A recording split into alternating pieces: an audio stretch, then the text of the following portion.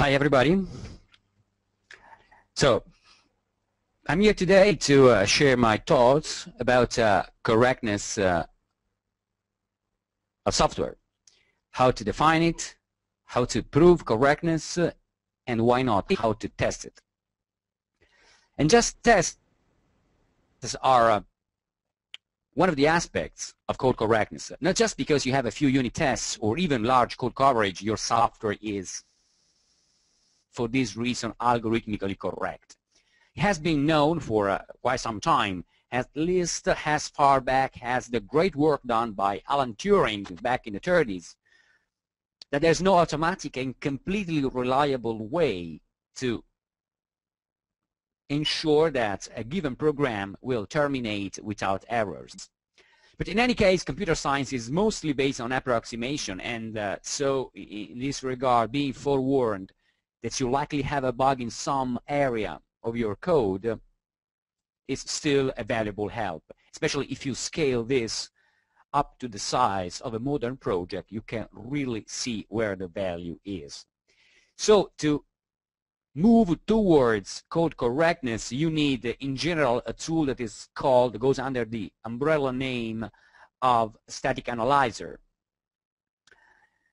And be sure as you do that, that a static analysis tool will probably won't give you absolute certainties, but uh, at least this tool working in real time as you write your classes and your method can give immediate feedback about what is possibly wrong in your implementation.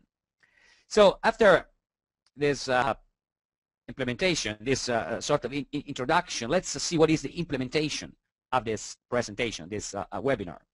So this is the expected uh, table of content, and uh, we focus basically around uh, three main topics, definition and examples of code correctness, how to manage with code, uh, how to deal with code correctness, a specific technology, dot .NET based, that is uh, the technological instrumentation that uh, guarantees uh, approach, valid approach to correctness, so code contracts. I think that everybody needs code contracts, but only a few people today realizes that they really know, they really need it.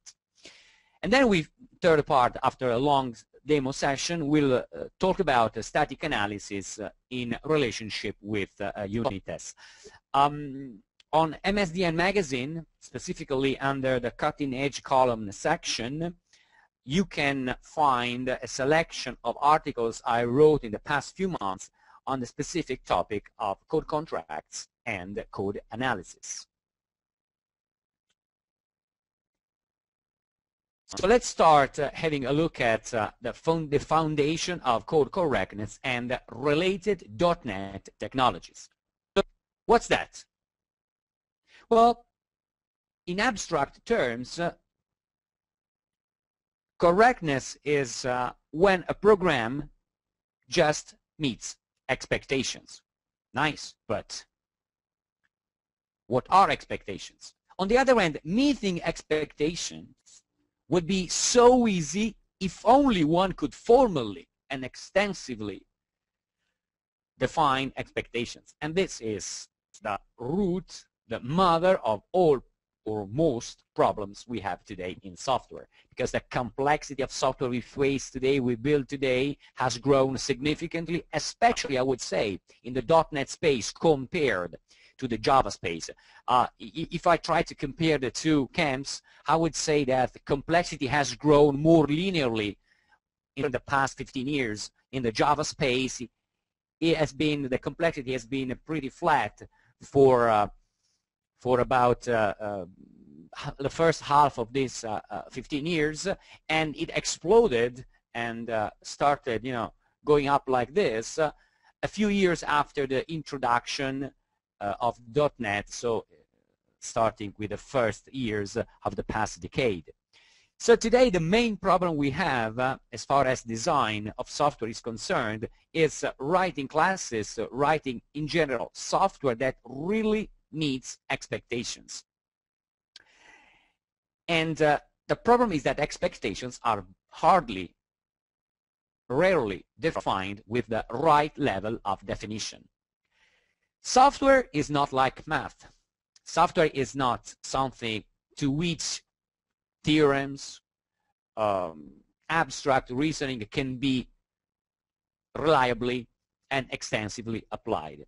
So in software, a lot is left to approximation and also our definition of correctness when a program just meets expectations has to be has to be refined to be when a program sort of meets expectations. Design by contract is, uh, in terms of, in, in, more formal terms, is uh, the closer we can get in software to the idea, the abstract idea of correctness. And uh, design by contract is uh, a methodology that was introduced quite a few years ago by uh, um, Bertrand Meyer in the context of the Eiffel language. And in abstract terms, it defines uh, the agreement that establishes between uh, the author of a class and the author of a class that calls into the other. So between uh, a class and its clients. You, you, you should think it in terms of each class exposes its own public contract, its own agreement with clients, its own terms of service. And this is done expressing essentially conditions. And then there is all around a sort of invisible big brother that look over any dynamics that establishes between uh, classes, your classes, and clients, sometimes your same clients, and uh, ensures, the big brother, that this dynamics uh, is uh, respectful of the terms of service. What kind of conditions?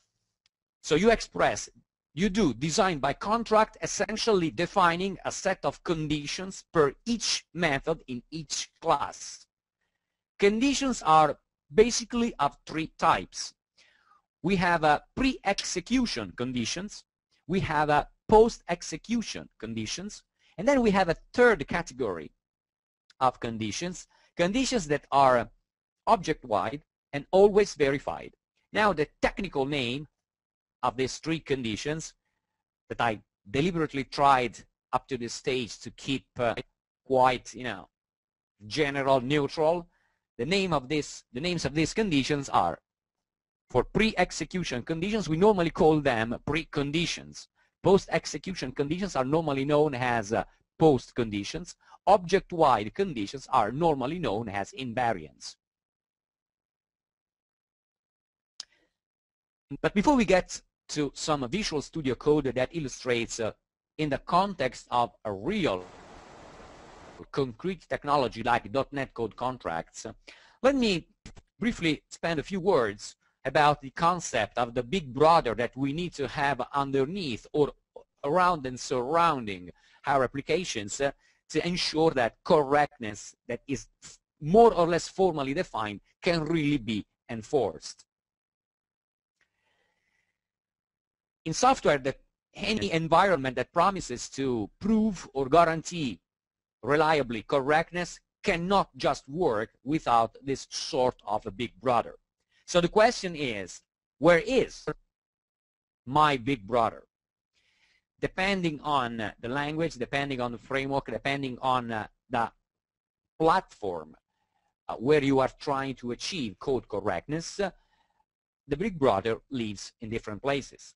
For example, in the Eiffel language in the beginning, so when the design by contract methodology was first formalized quite a few years ago, it was straightly embedded in the language.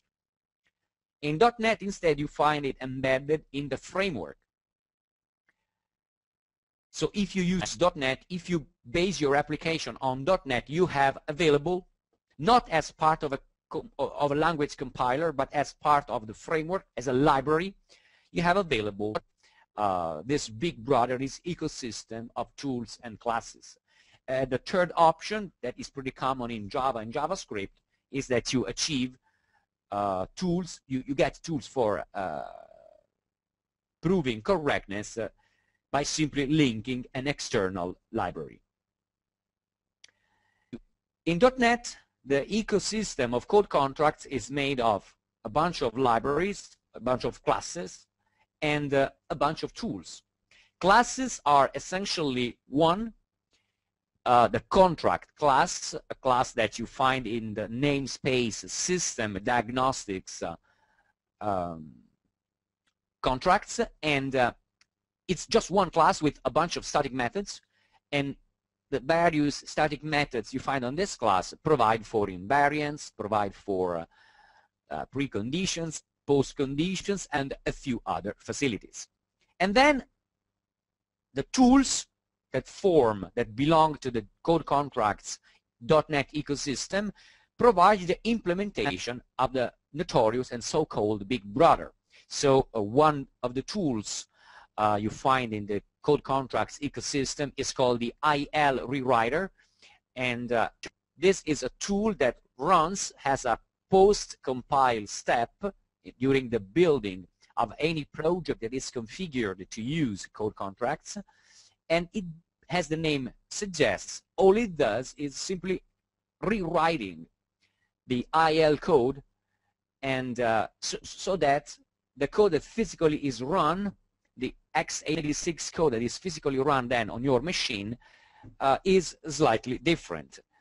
Um, I will give a demo of this in just a few minutes. Another tool that is fairly important to mention and that we will see in action uh, later on during this uh, webinar is the static checker. The static checker is the code contracts uh, static analysis tool, all it does is reading through your code and builds a knowledge base. Tries to understand facts. It tries to collect facts about your software. It tries to understand essentially what is the input and the output of each method and, and function and uh, what is the content and the expected content of each of the variables it finds along the way.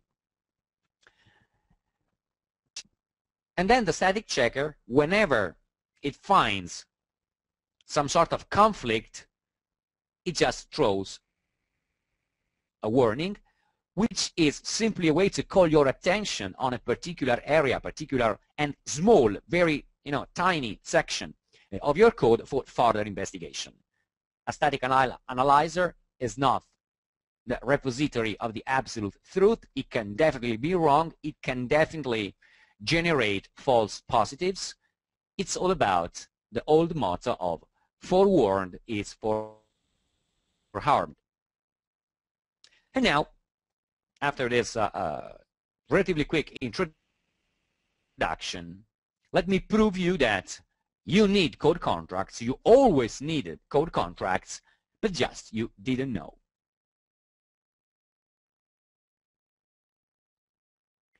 So what I have here ready for you is uh, a simple class, the classic calculator that you find demonstrated nearly everywhere in the realm of software, in the whole spectrum of software, categories of software, there's always room for introducing, presenting a calculator demo.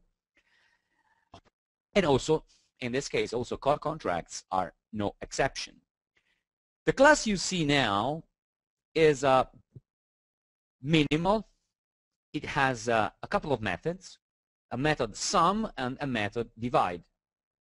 But now, buried in the summary, in the comments for uh, the various, the two methods, we have uh, some expectations, we have some requirements, and specifically the requirements, the business rules for this class, which could easily be a section of our domain model, business rules say that uh, uh, the method sum is forced to sum two numbers, but only if both are greater than zero or equal zero. Same for divide with a further uh, condition that the divider cannot be zero. So we do have a few rules around a very simple, trivial, basic, minimal mathematic, mathematical operation.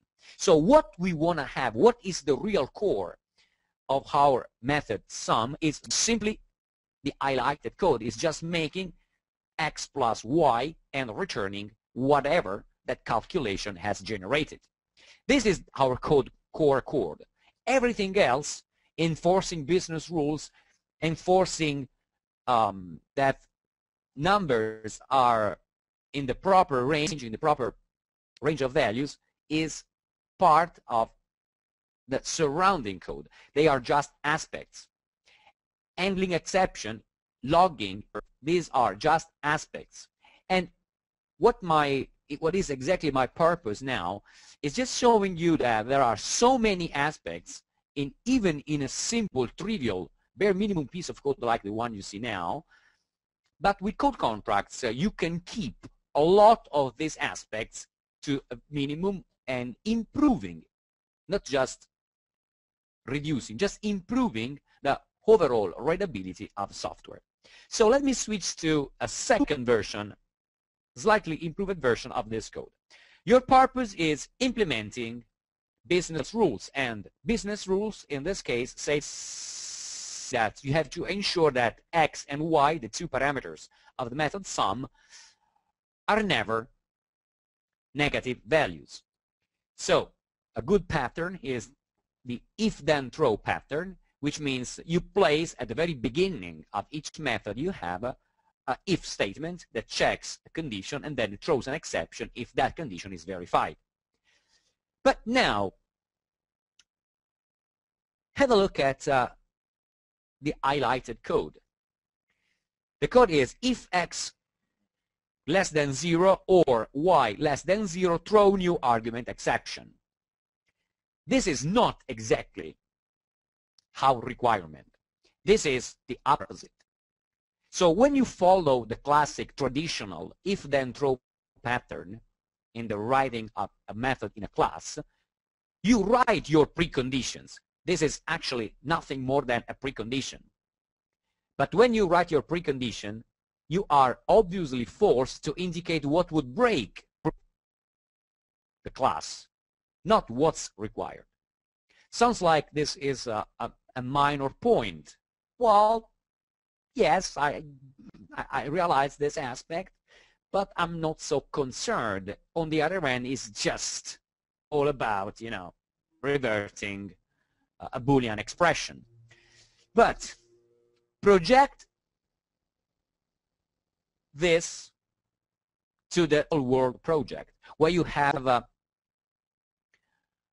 a lot of where you have a, a lot of uh, um, of classes where you have uh, a lot of methods and uh, well readability decreases. And just uh, using the right version of a boolean statement uh, can um, can make a huge difference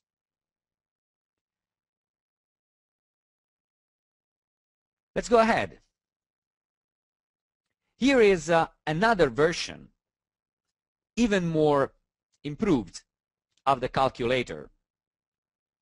Basically, uh, we have here the same method sum that has uh, that has a, a precondition if x less than 0 or y less than 0 new exception, then it performs the operation, and then we want to add yet another level of control for correctness of this, for ensuring that this code is correct. We want to guarantee that the code works if numbers, if input parameters are positive, and we also want guarantee, we want to make it clear that if the input is correct, the function executes and the function returns a positive value. So we want to check also the output.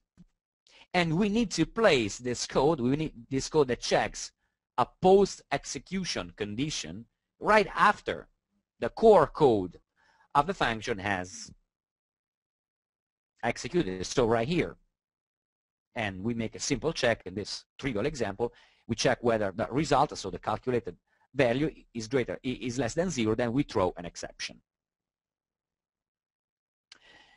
So we have uh, preconditions and we also have postconditions.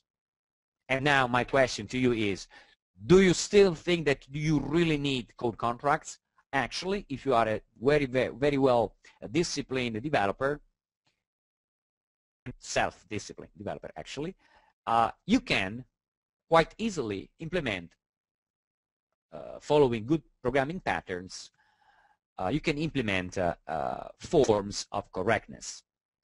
Sure, it works, but there are a few other ways to improve this code. Now let me show you that uh, this is no longer the worst condition ever you can face on your way towards uh, correctness. What if, in particular, a piece of code uh, a little bit more sophisticated than this trivial sum has multiple exit points? Here's an example. This is a yet another way of rewriting the sum method so that we first have a, a check on uh, preliminary conditions. Then we have a shortcut exit. In, in particular, for the sake of this uh, uh, of this example, if x and y are the same, then I go for uh, an optimized operation and I use a bitwise shift to which is a form of optimization for doubling uh, a value. So if if if you get into this branch, we perform the operation in a different way using a different algorithm, and then we still need, because this is an exit branch, we still need to place to duplicate here our post condition code, the code that evaluates post-execution conditions. And then our code continues by uh, simply performing in the traditional way, in the standard default way, the operation, and then running again the code that verifies that the output we're going to return matches the expectation, the, the terms of service for the calculator class and for the sum class. Now, we started from this code for the method sum, just one line.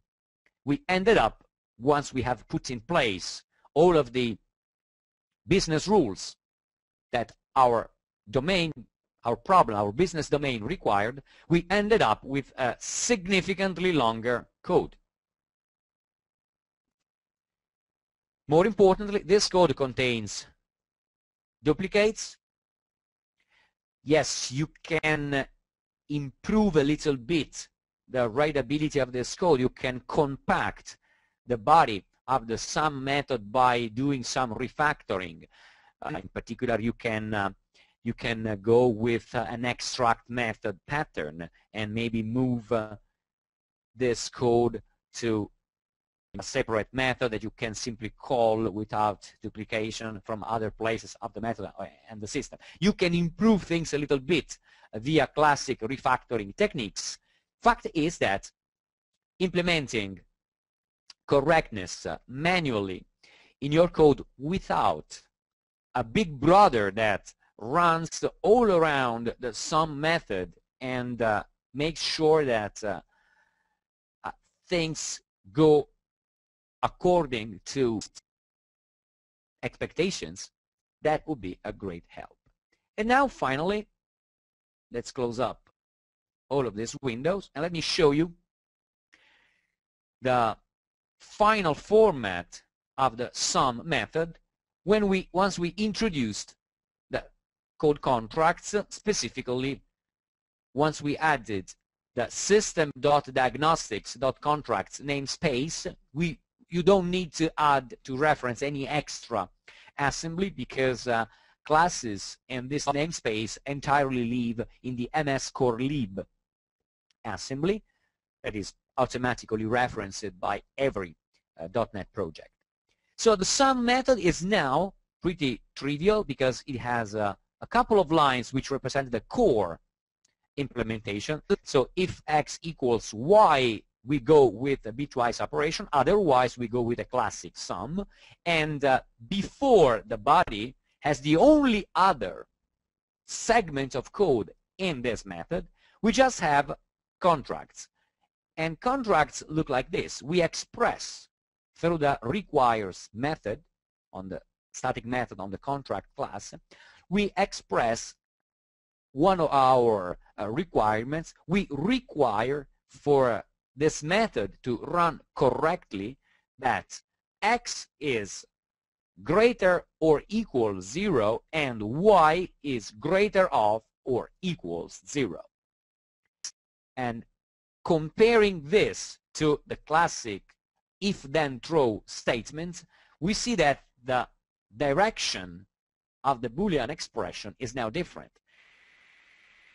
So we are not denying a condition to throw an exception. We say we are throwing an exception if the condition you see here is not verified. So we require that the other condition is true, which makes a lot easier for you to read and understand the code when you get to it uh, months later, years later, or just weeks later during a refactoring session, or perhaps during a peer review session. So much for requires. The syntax of this method is contract.requires of t, and t is a t exception, is the type of exception you want to be thrown in case uh, the Boolean condition is not verified. And now, let's consider post conditions. The method in the .NET uh, Code Contracts implementation is called ensures, and it takes uh, a Boolean expression. And uh, the statements we make by using this code is, well, this method ensures that upon completion, the following Boolean condition is verified. What is the condition we want to express as true at the end of the execution of the SUM method? Basically, we say that the result being returned by this method is greater or equals zero. But we don't have a way to reference the value being returned by a function. When we write the return code of a function, we have we can have we typically have return and then an expression, return and then an expression. How can we point to the value being calculated by the expression we associate with the return statement? It is exactly the purpose of the expression you see highlighted now. So the result of T method on the contract class just represents a way to reference indirectly the return, the, the return value that this method is going to send out to its clients. Uh, result of T and T in this case is just the return type of the function. So, admittedly, this code looks uh, much better, much nicer. You have uh, the body, and then you have a, a section where you declare your expectations.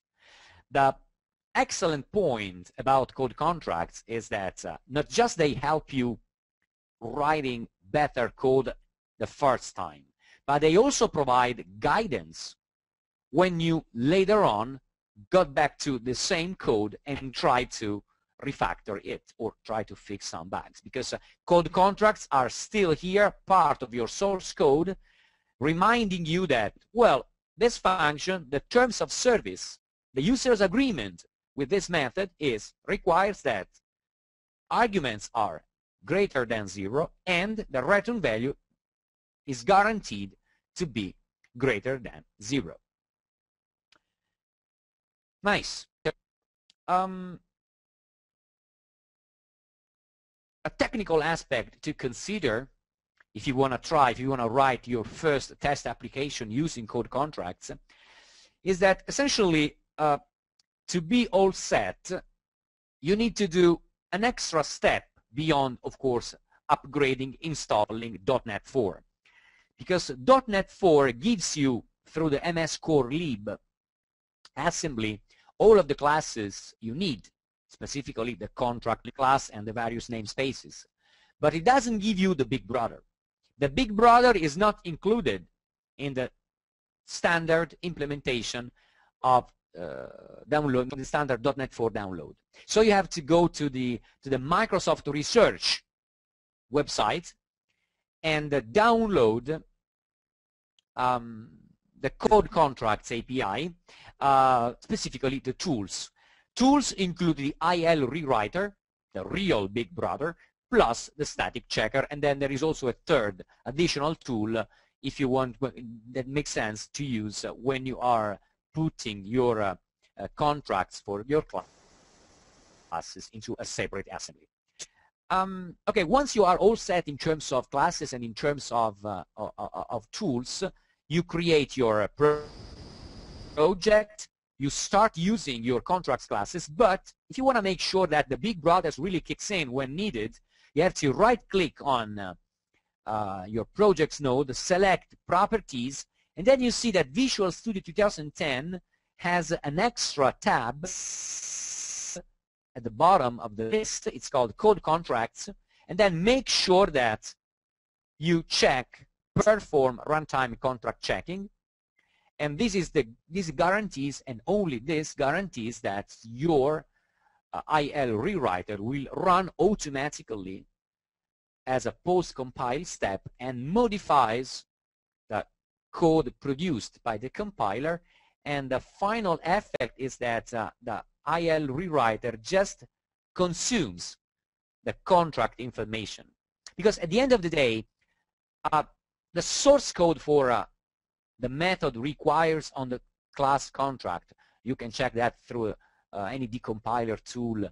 You, you, can snoop into the implementation of requires and ensures. If you do so, you will see that all of that these methods do is throwing an exception is uh, if the IL rewriter has not been enabled. That's it. They don't contain anything. They don't do nothing. They, they, they, have, they are nearly a no-op. They have nearly a no-op implementation. So what's really the purpose of requires, ensures, and more in general, what really, what's really the purpose of the code contracts implementation? These lines are nearly meta information.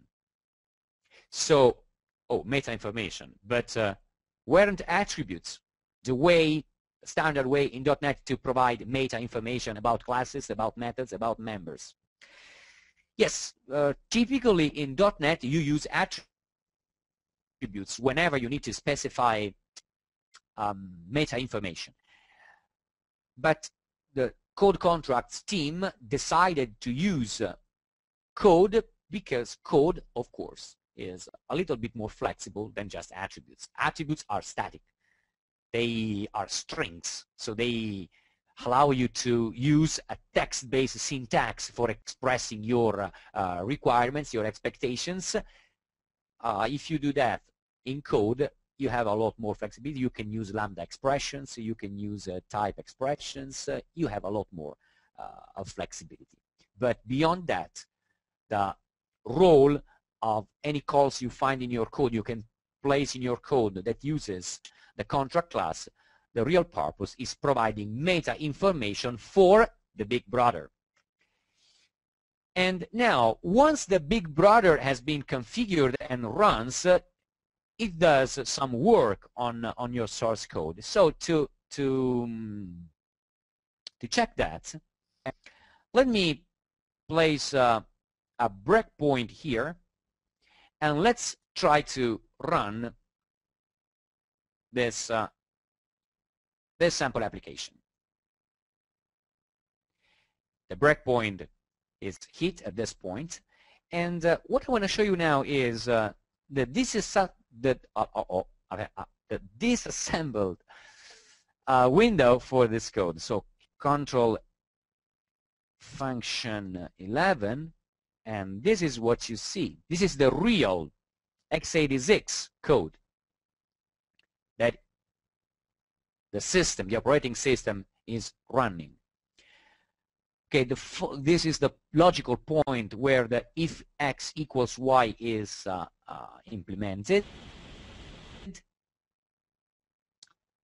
And uh, this is the block of code, of x86 code, that represents the implementation of return x uh, shift 1. I invite you to focus on this particular line and this one which is exactly the same. So what do these two lines have in common? They are the final line for a return statement. So return x shift 1 it it doesn't it doesn't end like in classic x86 code with a ret statement. The ret statement, the ret command is the command that returns, that clears up the stack. The implementation of return and plus expression is not ret, but it's just a jump. And we find the same jump to the same address also for return x plus y. And let's see what we find at the address jumped. We find essentially the implementation of the post condition. So you see that whenever there is a return, and this is the job that the big brother, the IL rewriter specifically does, whenever it finds a return statement, it modifies the code and replaces the ret statement with a jump to a common location where the post condition is evaluated. And after the evaluation of the code of the post condition, we finally find the ret x86 statement that terminates the uh, execution, clears up the stack, and passes the control to the next block of code in the algorithm, in the flow. This is the job that essentially uh, we see performed by the big brother. Finally, if you have pretty complex uh, business domain, it makes sense that at some point you have a, quite a few contract instructions, contract meta information to place in each and every method. So there is a way for you to collapse, to group a bunch of logically related uh, contract statements into a method call. This is exactly what I'm going to show in the next uh, the next file. Uh, this is a complete rewrite of the previous uh, the previous class, except that now I have uh, validate operands, validate result, validate operands for division. So I have uh, methods placed in the in the body of a method wherever uh, one or multiple contract statements were expected. Validate operands is just a, a method that contains contract statements.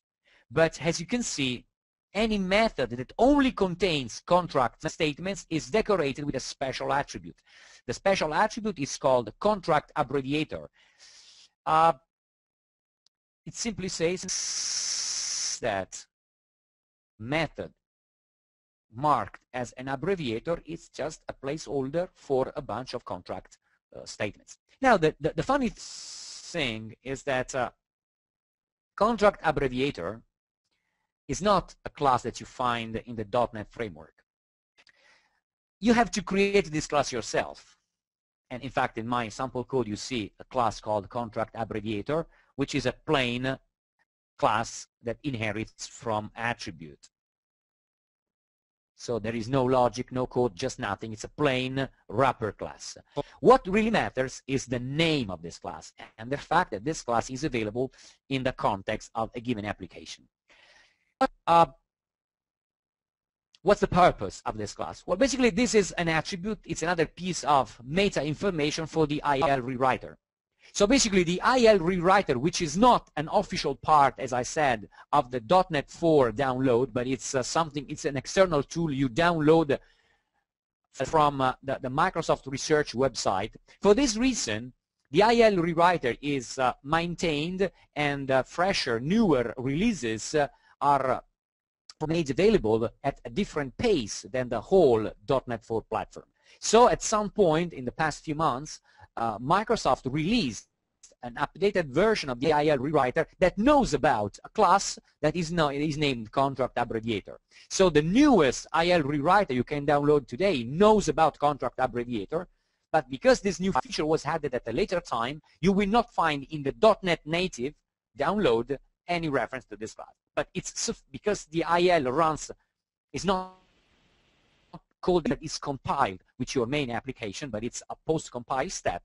As long as you have a, a contract with that name in your uh, executable, the IL rewriter will be able to perfectly identify, locate uh, abbreviations for contract information and proceed as usual. Let me move now to a second and final, I would say, example about uh, the third main category of uh, contracts you find. So we, we already spent some time on preconditions, on postconditions. Now it's time we talk about invariants. Invariants represents conditions that are always verified, conditions that always hold in the entire lifetime of a class. Hmm. You say, nice. But does it mean that the big brother is constantly looking into my class, is constantly monitoring the memory footprint of my objects? Well, not exactly. The big brother we are talking about, the big brother we have in, in, in code contracts is not exactly, it's not like the big brother of the popular George Orwell book. It's a, well, a big brother that is a sort of a friend more than, you know, as a, a, a full-time supervisor. And specifically, this kind of big brother is only active whenever a public method, including the constructor and including setters, property setters, are invoked.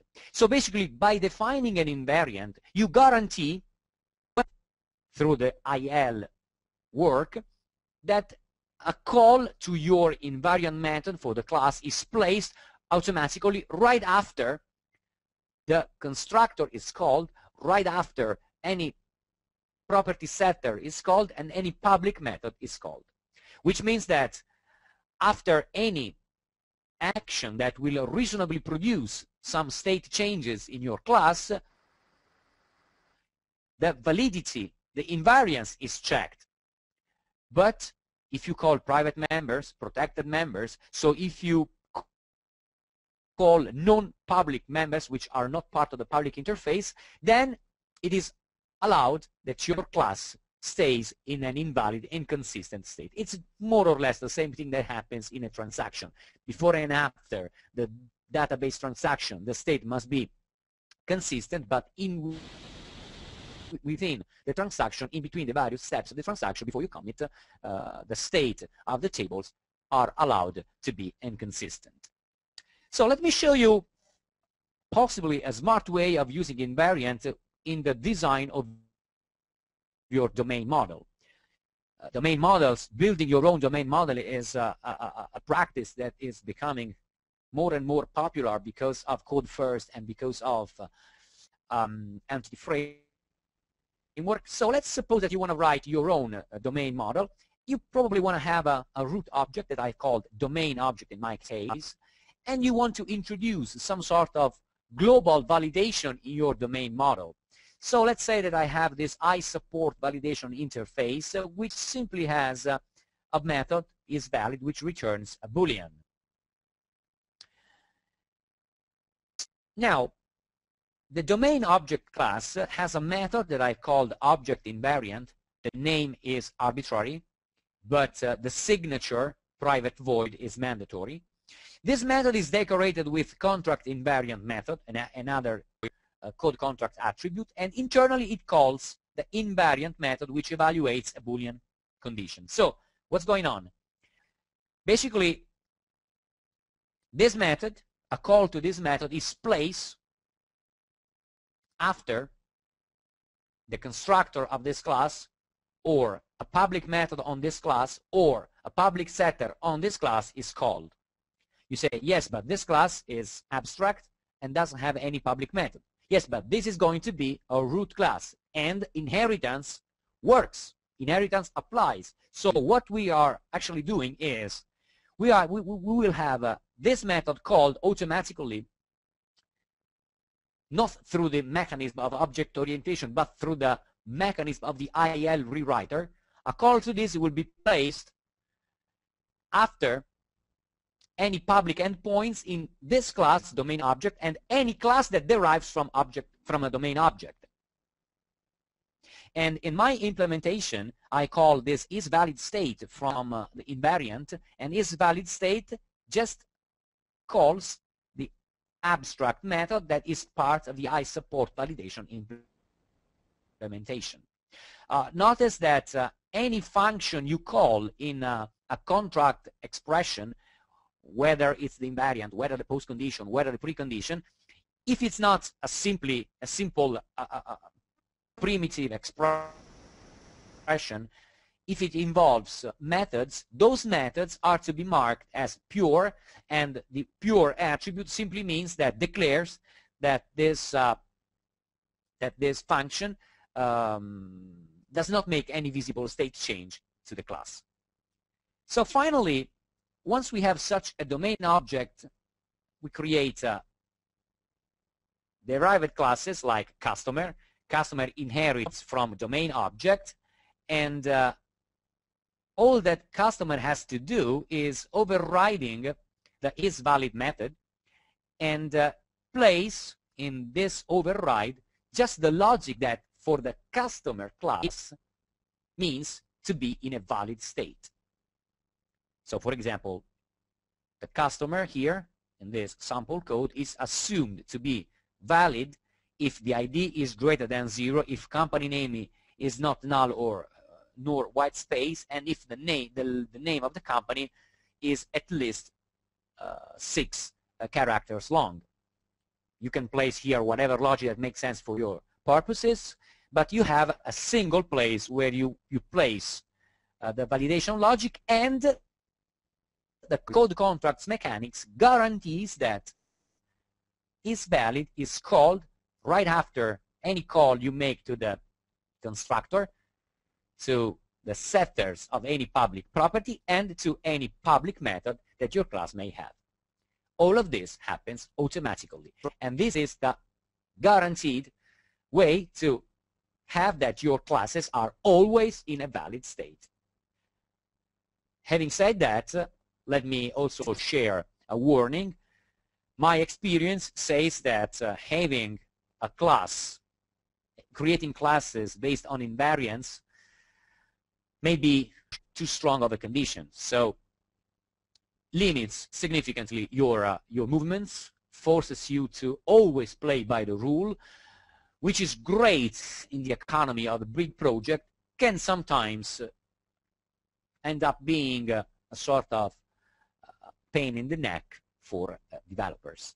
And uh, at this point, I can only mention, I cannot help but mentioning uh, my one of my favorite sentences from Isaac Asimov. He said, "Once what humans, what scares humans in computers is that once computers and computer programs are competently programmed, they are absolutely honest."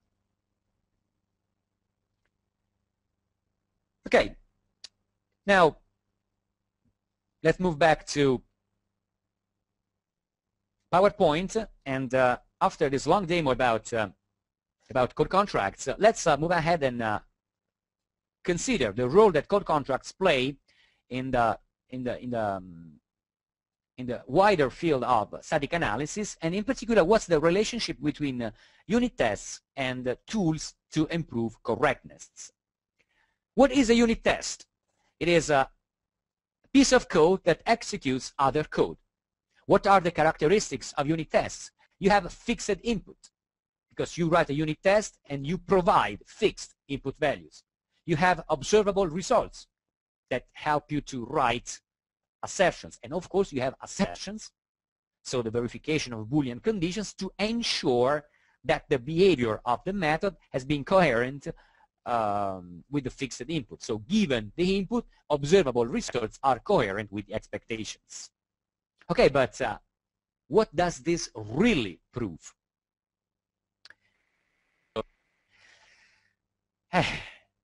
can we conclude from here that because we passed all of you, all our unit tests, because we had we covered 80% of the source code with unit tests, can we really conclude that our code is correct? Not necessarily. Not necessarily because uh, because of the of the assertions. Assertions are things you write. You or the testing team writes. Assertions are things you write based on uh, input you provide. So what a unit test really tells you about the correctness of a program that is that given that input, the behavior of the method is correct.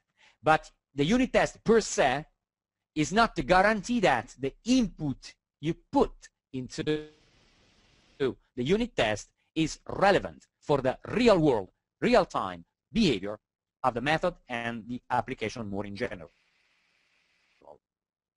Let's consider now analysis. A static analysis tool is uh, a tool that reads other code. Reads, not runs, not executes. By reading the source code, this tool learns facts about uh, your variables, about your functions, about the structure of your code. And it knows how to relate facts. It knows, for example, that the output of the variable x is going to be the input of function y. And uh, it can relate the two things. If he know if he knows facts about x or about y, it can put the two things together and make some logical calculation and emit warnings if it finds out that you, are going to pass incoherent and consistent input to a function. And uh, the tool, in this case, emits warnings, and uh, usually a static analyzer emits uh, way too many warnings. Sometimes too many to the point that the, the, the developer feels authorized to ignore all of them. So what does an analyzer really prove? Well, it proves that detected relations between parts are coherent. Is this enough? Hmm, not necessarily. Not necessarily because uh, not necessarily you can provide all the information that the analyzer really needs. The analyzer is uh, gives you stronger, more relevant information than a unit test because uh, the analyzer acts as a big brother. It's uh, if competently programmed, it's absolutely honest. The unit tests instead are written by developers for themselves or and you know humans are not like computers even with the best intentions. So remember Cassandra, I put here a link to the to this little piece of Greek uh, mythology. Uh, Cassandra was um, a, a, goddess uh, that was given the gift of prophecy and then uh, because he, she disappointed another god, Apollo, uh, she had placed a course uh, according to, to that uh, no one would ever believe uh, predictions. So in this case, I would say that a static analyzer is a sort of the Cassandra of software. It gives you a lot of predictions about possible bugs, possible places in your code where you're going to have some uh, some problems, but uh, some bugs, but it's just a prediction. A static analysis warning is definitely not going to be necessarily uh, a sure bug, but you better have a look because forewarned is always forearmed. So to finalize, testing is uh, a way to catch regression according to the coverage of code you have and the relevance of your tests. What you do is testing input data and uh, unit tests are essentially a black box testing tool. With uh, uh code correctness and analysis tools uh, like the static checker in, um, in code contracts, one of the, the big brother tools of code contracts, uh, you can catch logical bugs as you code and uh, what is being tested is the logical flow of your application in a sort of white box testing um, approach. Uh, by the way, let me switch back for a moment to Visual Studio just to show you that uh, uh, the static checker is a facility you need to implicitly activate uh, always from the properties, the code contracts page properties of your project.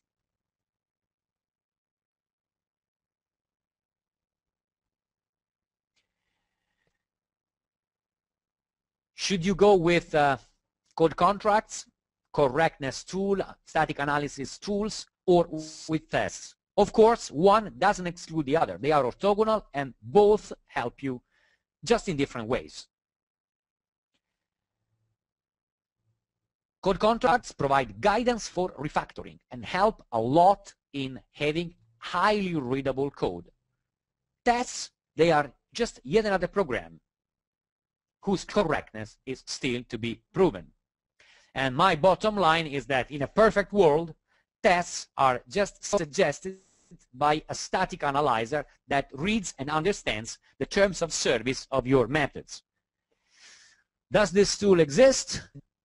You might want to have a look at PEX from the link below. Thank you. Has been a pleasure, and if you have some questions, please send them. Uh, great, thank you so much, Dino. Um, we are we don't have any questions just yet, but I'll we'll give people a moment to uh, type them in. Yep.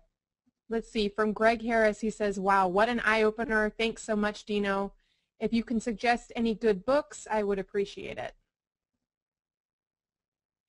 Good books? Oh, yes, my books. Oh, I'm sorry. Um, not, not my books, but uh, no, I don't know actually uh, about uh, um, any good books that is uh, entirely dedicated to code contracts.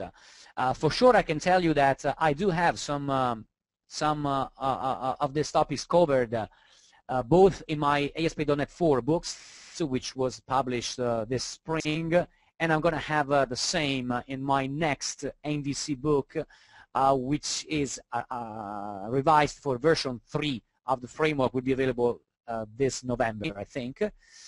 Uh, beyond that, I would recommend uh, that you have a look at my MSDN magazine articles, uh, which are free and they are uh, from the link that I presented at the beginning of the presentation. Okay, and let's see, uh, from James, what is the relationship between code contracts and spec?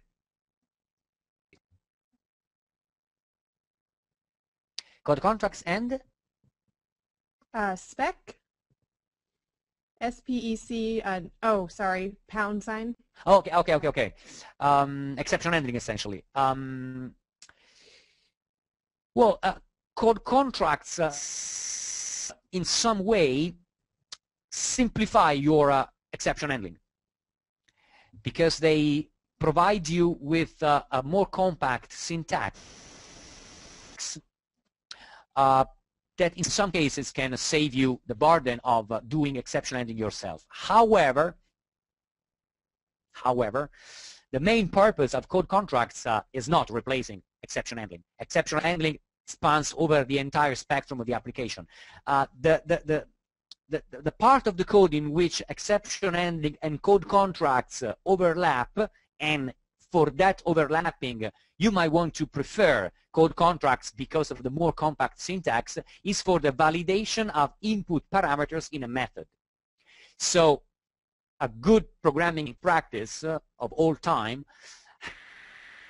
uh, says uh, before before you start doing any significant work in a method, please check that the input data you are receiving, input parameters, uh, are valid according to whatever rule uh, you have to uh, you have to to check. And you might want to do that using an if statement and then throwing an exception, doing some sort of you know simplified exception handling. Uh, in that regard, the code contracts work. Everything else, they are different because uh, they don't provide and are not supposed to provide the try-catch block.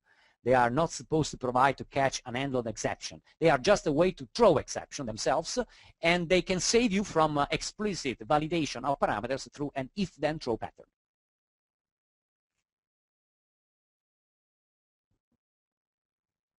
Okay. Um, let's see, from Greg. I have generally written my own classes for validation. How do contracts compare to validation classes regarding overhead? Uh, but code contracts, uh, code contracts uh, represent a bit of overhead, like uh, any form of validation. I would say that it's a, a relatively thin overhead. It's kept to a minimum. However, if you are concerned about uh, code contracts uh, representing uh, a significant uh, uh, slowdown for your app, consider that uh, you can disable on a build basis, on a per build basis, code contracts. So you can have uh, code contracts enabled through the properties page only for, say, debug builds, but not for release builds. In this case, the code is entirely stripped off. The IL rewriter doesn't run, and um, your code is uh, as if no contracts instruction uh, was in place. The only exception to this rule is when you use uh, uh, contract dot requires of T, because in that case, uh, the contract instruction is uh, translated one-to-one as a if-then throw statement. And because you want to throw explicitly your own exception, then that code is uh, not stripped off, is uh, maintained in the compiled code regardless of the settings for code contracts you enable on a per build basis.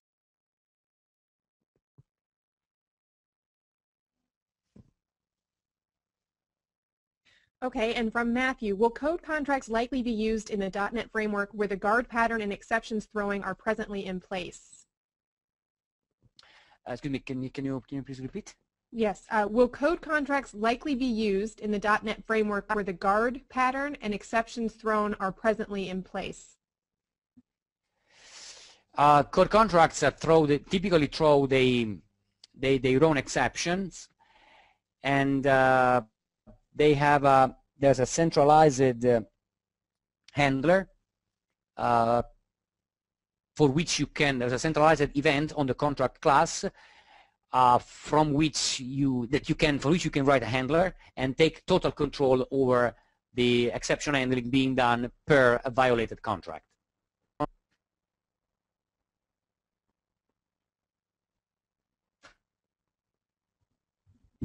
Okay. Uh, that is all the questions. So with that, uh, we can go ahead and wrap it up. Any parting words, Dino? I mean, I, I just hope that uh, I just hope that everything was uh, was useful to uh, to to everybody, and um, I, I invite you, people, developers, to try at least code contracts. what I can say is that personally, uh, I've been an early adopter of code contracts. I started using them uh, before the release of .NET 4. By the way, code contracts are also available through a separate download from the Microsoft Research website, also for .NET 3.5. So they are integrated in 4, but they are still available as a separate feature in 3.5. I started using contracts in 3.5. I learned the hard way, and uh, today most of my code and entirely my new code is based on code contracts. I especially enjoy using code contracts uh, in the definition of my domain models. That is the right place to consider, the first right place to consider using code contracts. Thank you again to all the attendees. Great. Thank you, Dino. And again, if you missed anything from this webinar or want to review any previous webinars or check out hundreds of online product tutorials, visit us on the DevExpress channel at tv.devexpress.com. Again, thanks so much to Dino. Thank you all for joining us, and thanks for choosing DevExpress.